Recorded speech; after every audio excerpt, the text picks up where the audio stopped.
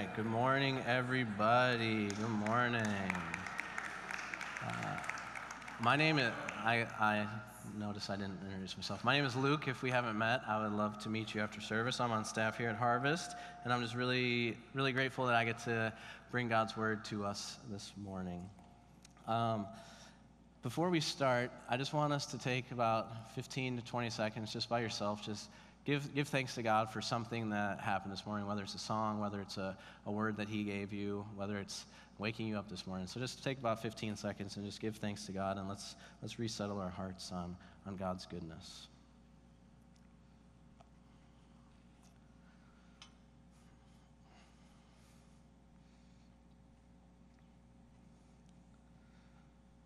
Lord, thank you for uh, yeah waking us up, bringing us here.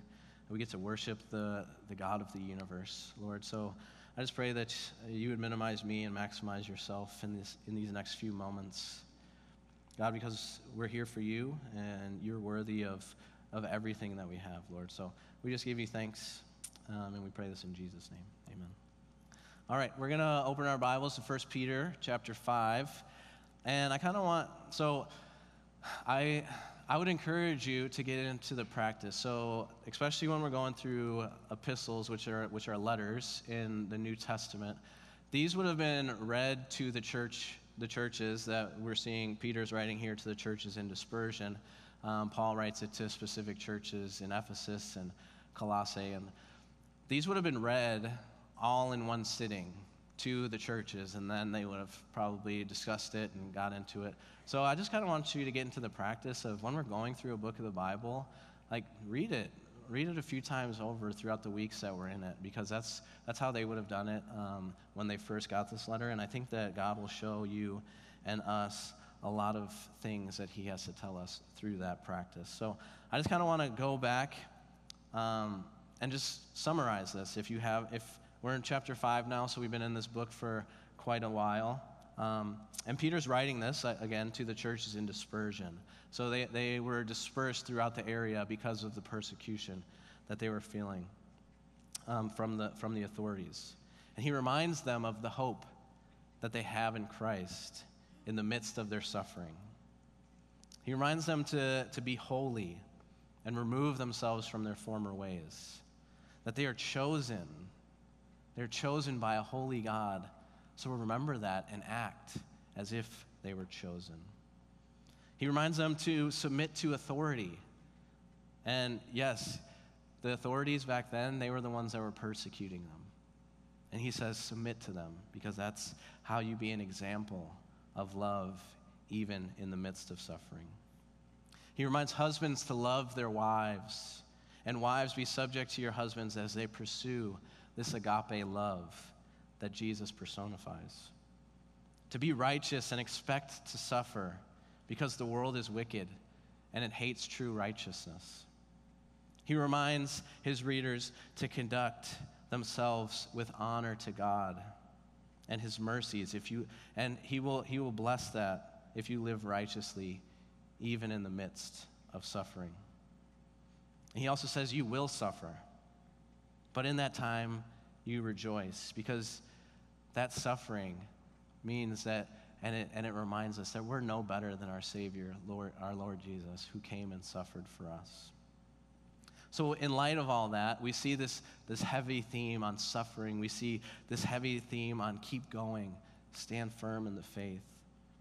And now, Peter in 1 Peter 5, he says this So, I, ex- I exhort the elders among you, as a fellow elder and a witness of the sufferings of Christ, as well as a partaker in the glory that is going to be revealed, shepherd the flock of God that is among you, exercising oversight not under compulsion, but willingly, as God would have you, not for shameful gain, but eagerly, not domineering over those in your charge, but being examples to the flock.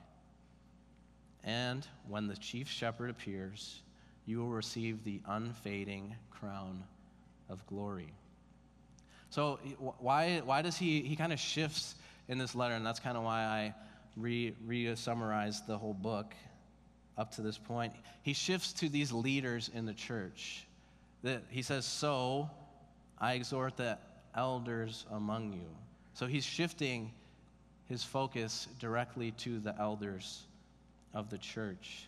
And being an elder of the church, being a leader in the church, it, it is of high honor, but it is also of high burden.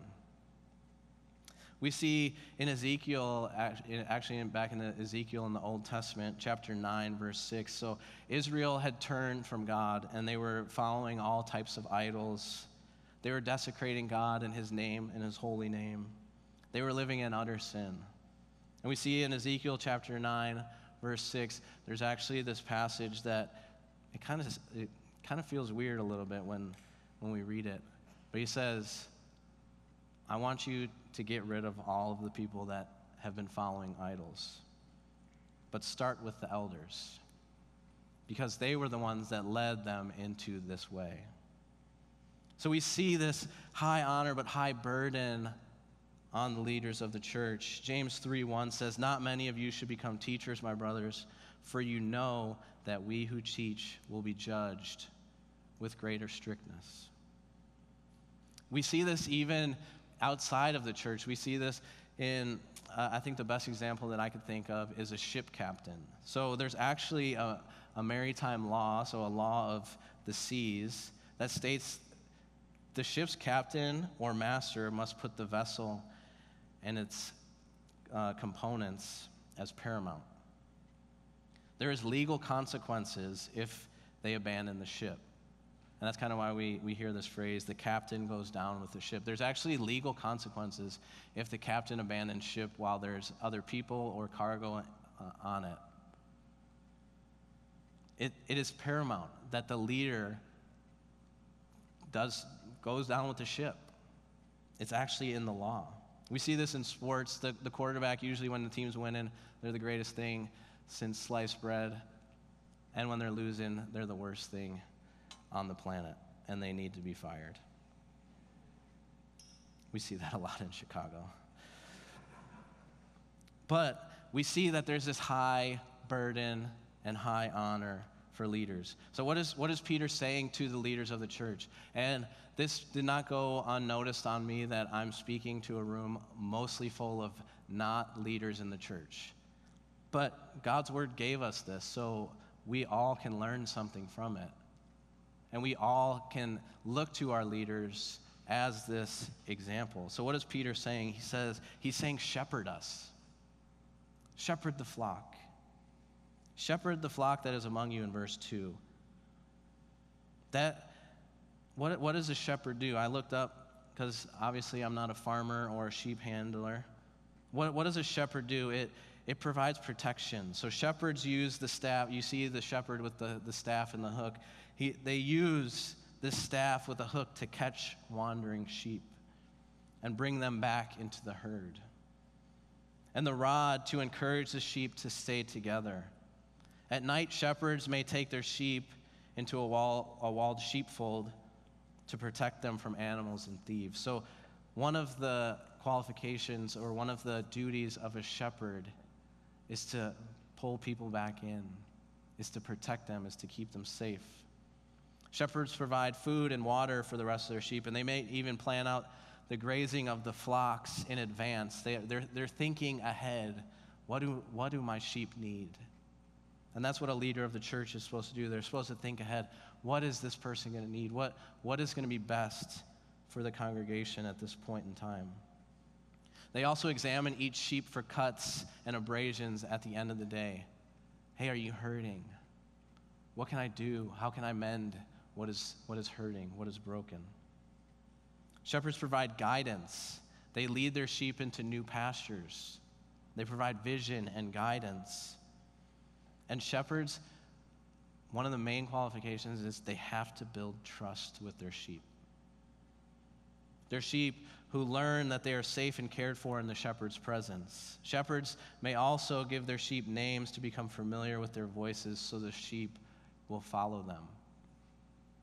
Peter says to the elders of the church, Shepherd the flock that is among you. This word this word shepherd, the, the, this phrase shepherd the flock, it's the only imperative in this entire passage. It's the only, you must shepherd the flock. It could be better said. And let's remember who's writing this Peter. Peter is writing this, the man who walked with Jesus. And I think that it's so crucial to remember back to John 21 15 and 17.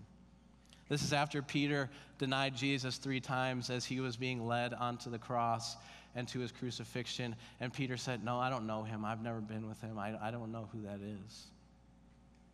And after the resurrection, Jesus and Peter are together. And in John 21 15, he says, When they had finished breakfast, Jesus said to Simon Peter, Simon, son of John, do you love me more than these?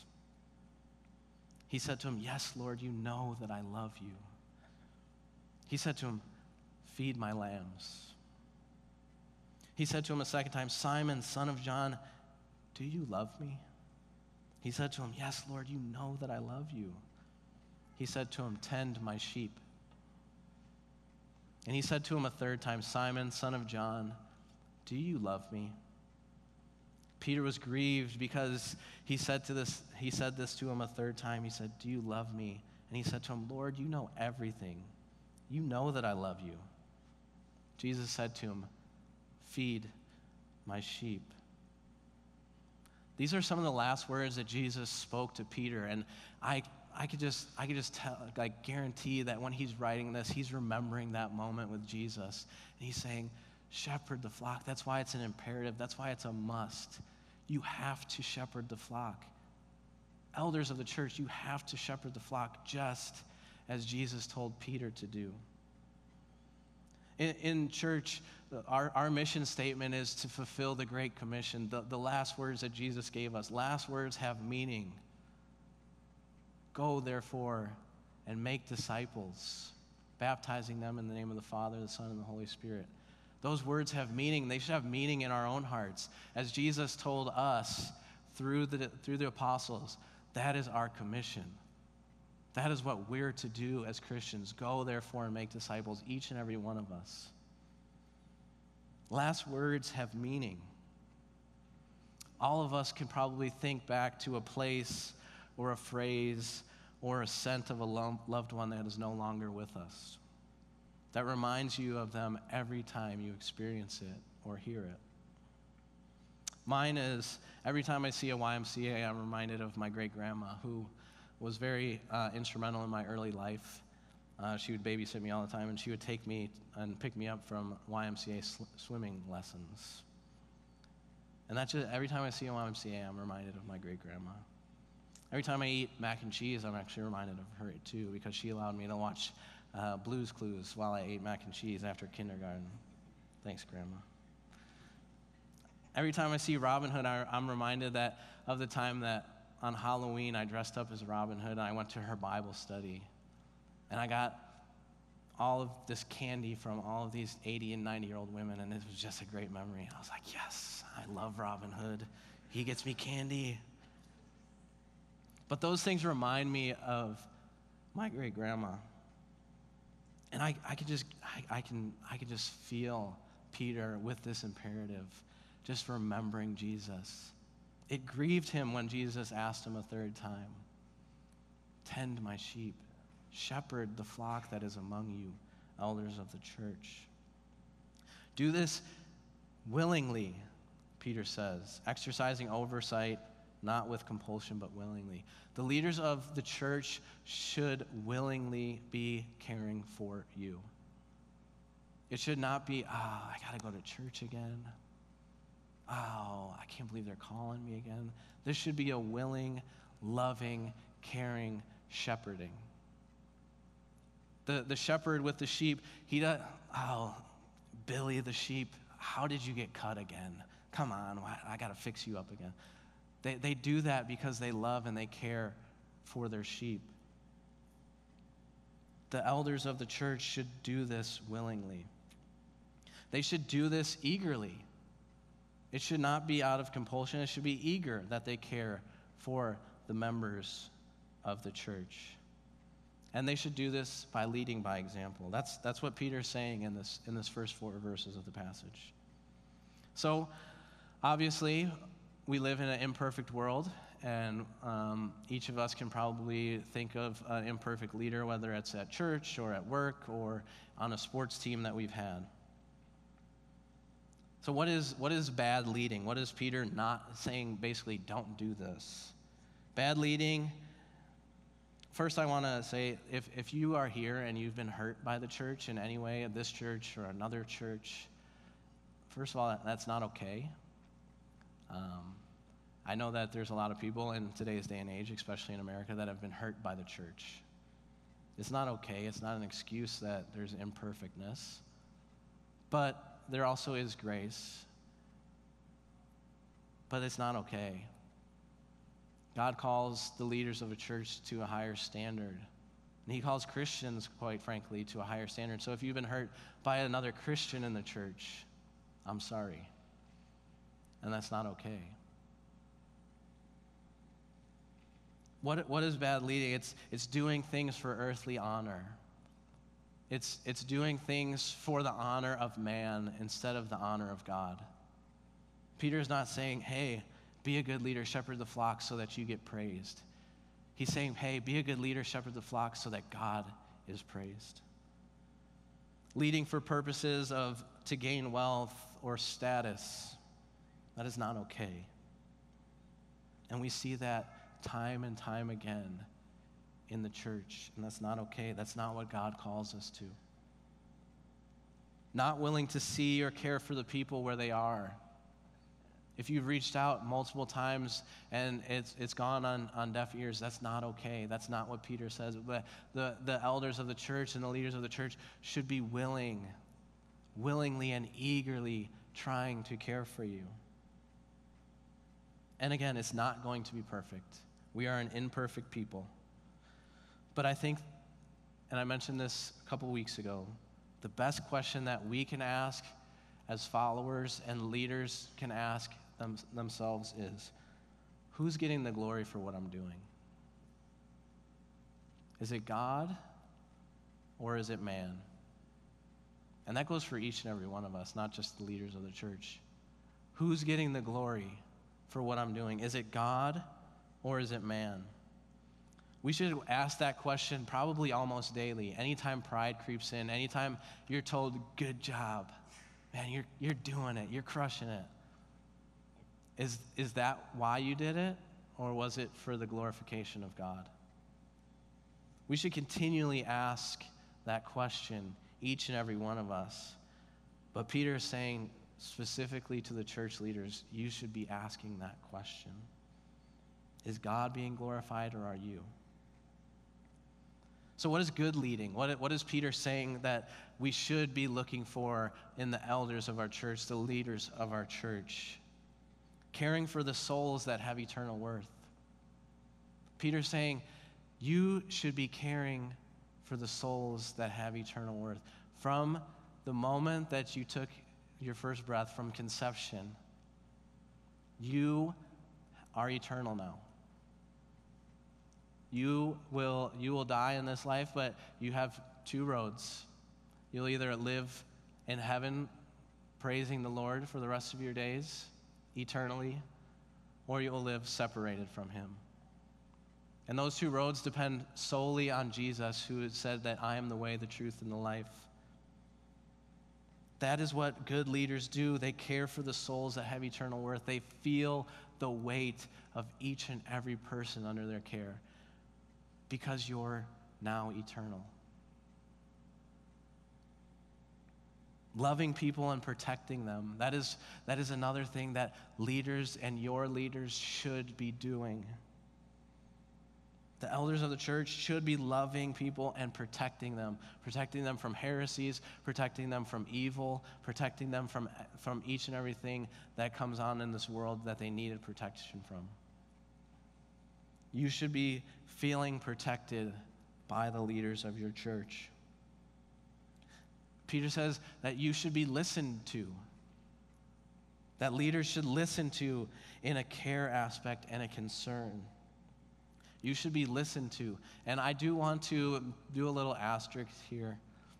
This does not, Peter's not saying, hey, if you don't like the music, go and complain to the elders. And if you don't like the way the pastor dresses or the way, go and complain to the elder. This is not what he's talking about. He's talking about serious concerns, theological concerns, sinful behavior concerns. You should be bringing those to the elders of the church.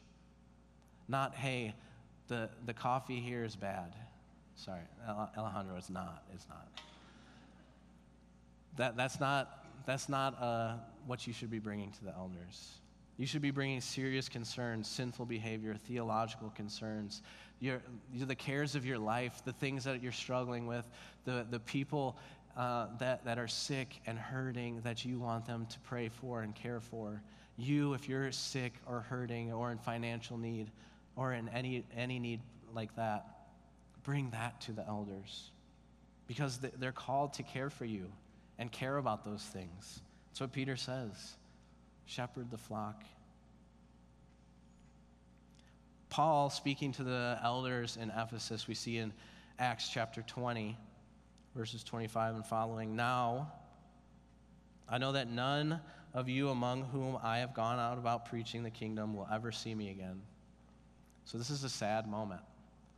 Paul, people that he cared about, people that were his sons and daughters in the faith that he brought to Christ through the, through the gospel message, he's never going to see them again. Therefore, to the elders of the church at Ephesus, I declare to you today that I am innocent of any blood, uh, I am innocent of the blood of any of you. For I have not hesitated to proclaim to you the will, the whole will of God. Paul, he, the, note the, the eternal soul caring that he's talking about here. I'm innocent of the blood. He's not talking about the physical blood, he's talking about their eternal souls here. Because he did not shy away from the whole will of God. And then he says, Keep watch over yourselves and over the flock of which the Holy Spirit has made you overseers. Be shepherds of the church of God, which, by he bought, which he bought with his own blood. I know that after I leave, savage wolves will come in among you and will not spare the flock. He's telling the elders of the church of Ephesus take care of these people. And do it by imitating what I did, by sharing all of what God has taught you. Do it because why? Verse 28 the Holy Spirit has made them overseers. Let's not miss this point. The, the church, when it's done right and done through the power of the Holy Spirit, does not just say, hey, you, all right, you're an elder. Hey, you, yeah, I think I've seen you a few times. Come and be an elder. There is a Holy Spirit component to the elders of the church. And there should be. There, there should be a lot of prayer. There should be a lot of vetting. There should be a lot of, hey, does anyone have anything against this person that we should know about?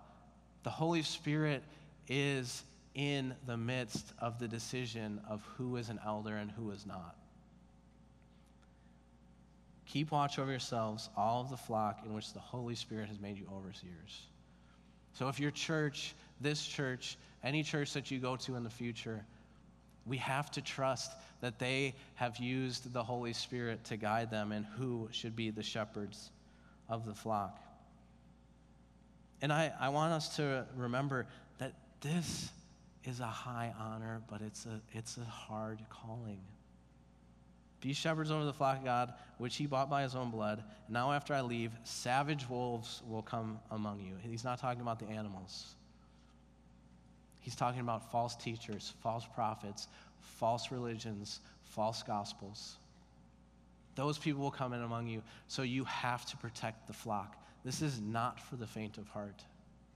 Being an elder at a church, being a leader of the church is not for the faint of heart because you're caring for eternal souls. So, what, what is a good elder? I think this, this is the, the best summary that I can give. Hebrews 4 14 and 16. Since then, we have a great high priest who has passed through the heavens, Jesus, the Son of God. Let us hold fast to our confession. For we do not have a high priest who is unable to sympathize with our weaknesses, but one who in every respect has been tempted as we are yet without sin. Let us then, with confidence, draw near to the throne of grace that we may receive mercy and find grace to help in the time of need. What is a good elder? It's somebody that points you to Jesus Christ. It points you to somebody who did it perfectly. A good elder of your church points you to the Son of God, Jesus Christ, in their actions, in their speech, in everything that they do. Why, why is that the best elder? If you've never heard the gospel, please turn your ears to 100. The gospel is each and every one of us in this room, myself included, you all included, have sinned and separated yourself from God. And the only way that we could be made right was not by anything that we could do on our own.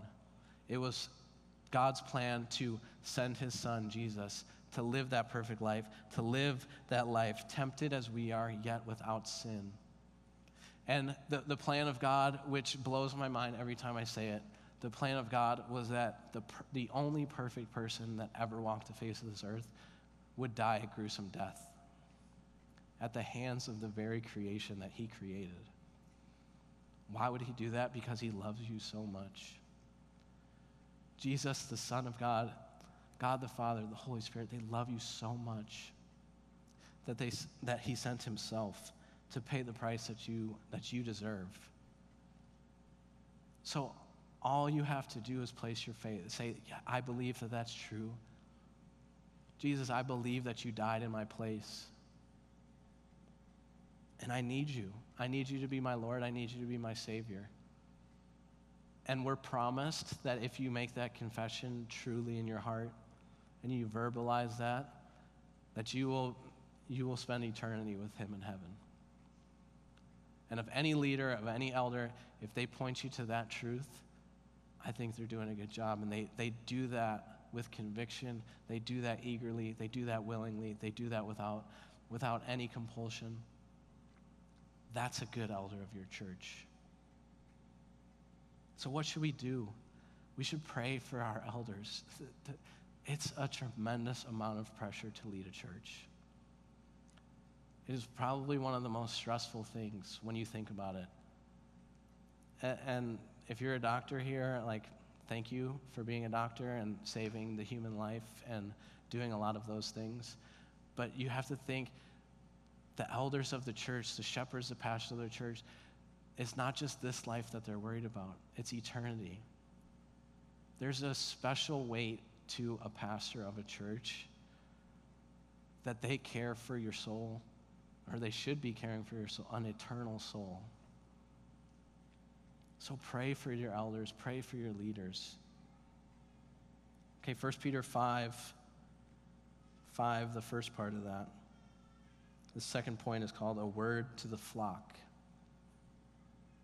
Likewise, you who are younger, be subject to your elders. Peter encourages those who are under this authority. So almost all of us in this room. In Hebrews 13 17, the author of Hebrews says, Obey your elders and submit to them, for they are keeping watch over your souls. As for those who will give an account, who will have to give an account, sorry, let them do this with joy and not with groaning, for that would be no, of no advantage to you. Obey your leaders and submit to them I don't think it can be any clearer. Be subject to them, their decisions. That, and I want to I want to this doesn't mean that you have to agree with everything that they that they say or do.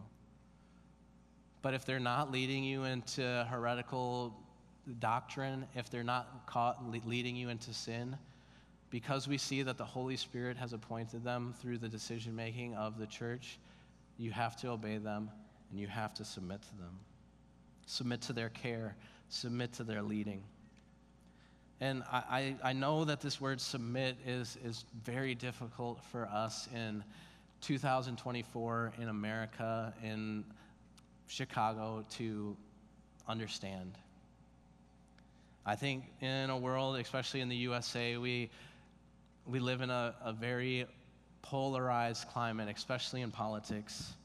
I don't know how many times that I've heard over the last eight years, so spanning two different presidents, that's not my president. Mm, yes, it is. We, we, we don't want to submit to authority. There's something that has been engraved in us, this evil that has been engraved. I don't want to submit to authority. Authority, no, I don't want to submit to it.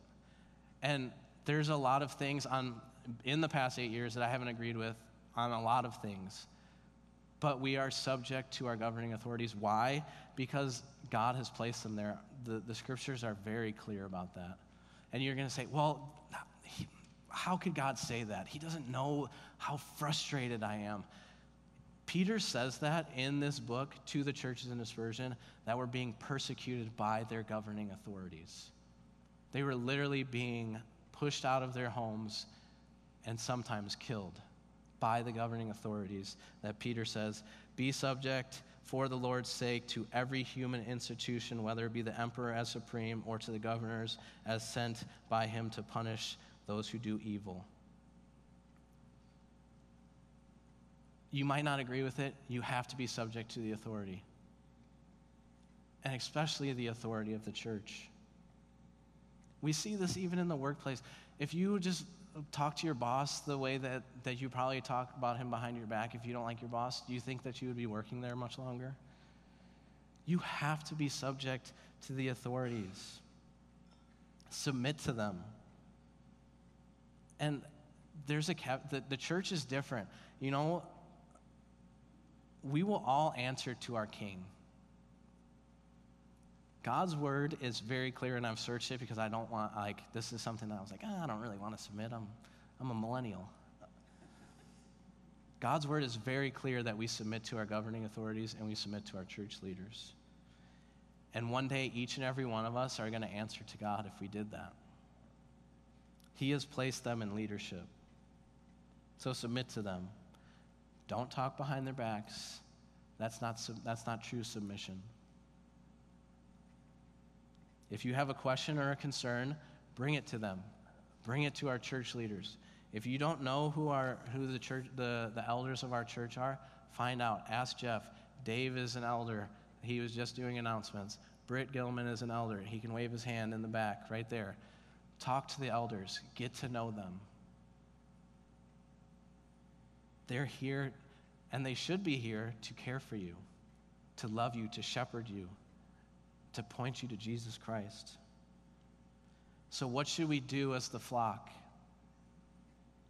Let's pray for our elders and leaders. That, there's going to be a theme for each of my points. Pray for the elders and the leaders. The third point a word to the leaders and to the flock. 1 Peter 5, the second portion of verse 5. Clothe yourselves, all of you with humility toward one another. For God opposes the proud, but gives grace to the humble. Clothe yourselves, all of you, leaders, flock, each and every person that says that they're a Christ follower, with humility towards one another. Just because a leader is in a place of, of higher standing does not make them lord over you. They should be under the compulsion of doing that humbly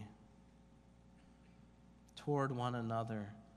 You know why? Because God opposes the proud. God does not like proud people. The greatest movements in church history happen when people humble themselves.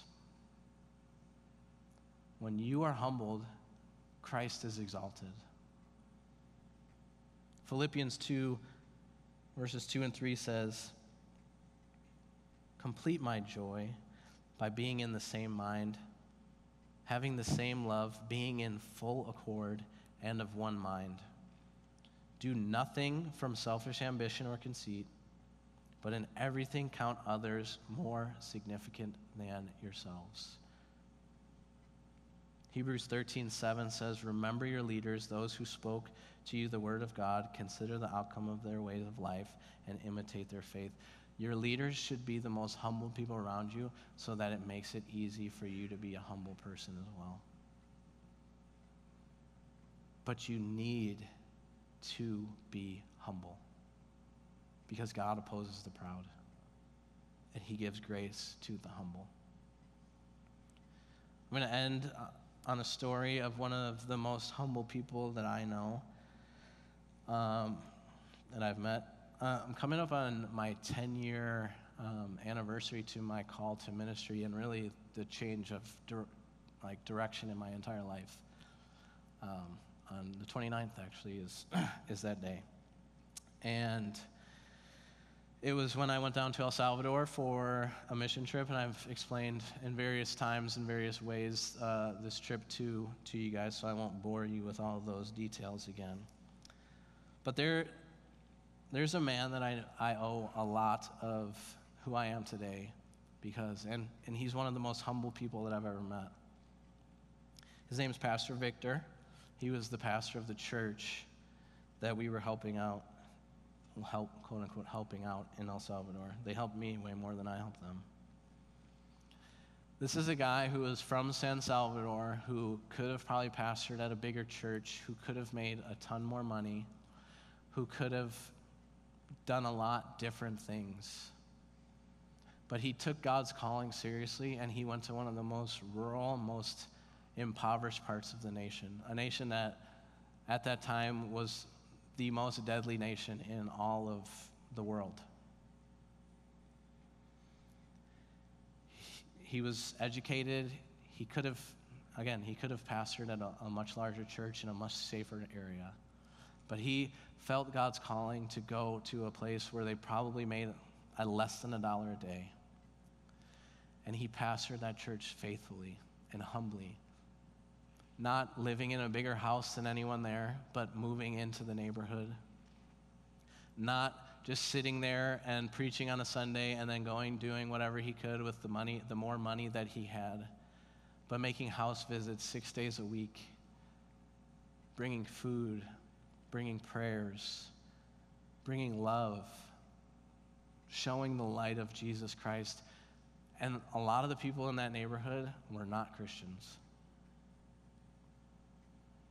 This man humbly chose, as a leader and an elder of his church, to go where the people were that needed God and point them to Jesus Christ. And if I'm just honest here, there's a lot of us that can make that, that might have even felt that Holy Spirit prompting that said, Well, God, I like my comforts. I like where I'm at. Somebody else can go and preach the gospel there. Somebody else can go to do the thing that is probably harder for me to do. You can send somebody else. But I'm eternally grateful that Pastor Victor didn't say that. Because he showed me what true humility was. And I'll leave you with the words um, of him after I asked him a question. I said, Pastor Victor, we became, actually, we bonded because he loves the Chicago Bulls. It's so funny. Um, I didn't speak any Spanish at the time. He didn't speak any English, but literally for almost an hour, Dennis Rodman? Yeah, Dennis Rodman. Yeah. Michael Jordan? Michael Jordan. Yeah. And we were just saying basketball players' names for like an hour. Hakeem Olajuwon, Hakeem Olajuwon, yeah, okay. And we bonded like that. But I asked him through a translator on, on one of our last days, I said, Pastor Victor, the, the, the gifts of the Spirit are so evident in your life. You, you are such a man of God, and that is so evident to every single person that we've encountered. And every single person that was on this trip, I said, um, quite honestly, I was like, how do I get the fast track to I want to be like you, but I want the fast and easy way. And he said, Luke, there's, there's three things that, that I do to be in tune with the Spirit. And this, this is what I would tell you. If you want to have the spiritual gifting, if you want to have the, the gospel impact, here's my, here's my cheat sheet. He said, orer, orer and orer. Pray, pray, pray. If you pray, you will be humble. You'll be humbled. Trust me. If you truly seek God, you will be humbled. And as leaders of the church and as, as the flock, we all need to be a church of prayer and we all need to be humbled. Because God opposes the proud and gives grace to the humble. Let's pray. Lord, you, you're so good. Uh, you're, you are so, so good. God, you give us your word, you give us your spirit so far more than we we deserve. You give us leaders to guide our ways. So Lord, I pray for our leaders. I pray for the elders of our church. Pray for the people that are making decisions that it would be done in all humility, with all care and willingness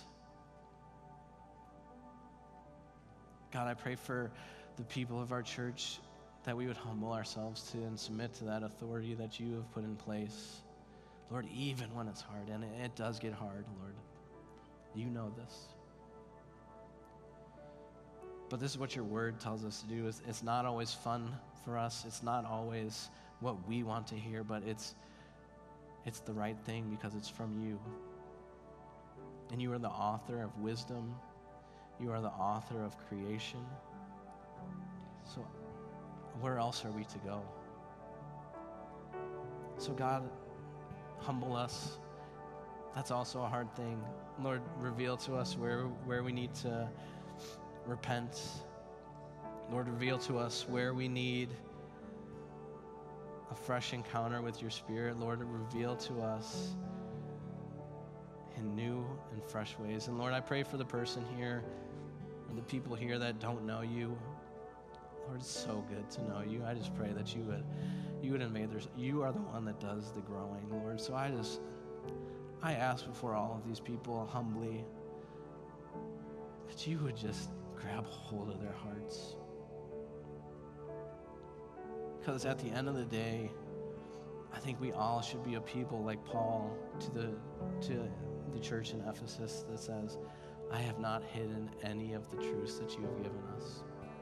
We've shared the full gospel. So, Lord, let it be so in our hearts, in our minds, in our city, in our nation, and in our world for your glory alone.